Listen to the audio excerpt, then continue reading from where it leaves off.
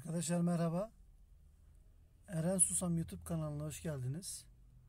Ee, Volkswagen grubu araçlarda e, servis lambası nasıl silinir, nasıl resetlenir onu tarif etmeye çalışacağım.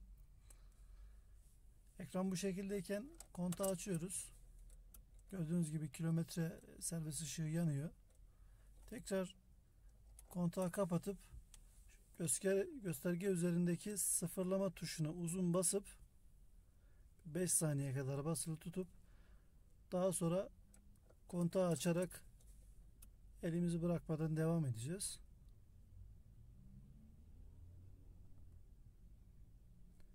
Yaklaşık bir 10 saniye bekledikten sonra buradaki düğmeyi bir kere sola bir kere de sağa çevirdikten sonra işlemimiz bitmiş olacak. Son halini denemiş olalım. Gördüğünüz gibi herhangi bir uyarı vermiyor. İşlem bu şekilde. Videomuzu beğendiyseniz destek amaçlı sayfamızı takip edip e, videonun altına takıldığınız kolları yorum yapabilirsiniz. Teker teker de cevaplamaya çalışacağım. Hepinize şimdiden teşekkürler. Hayırlı akşamlar. Görüşmek dileğiyle.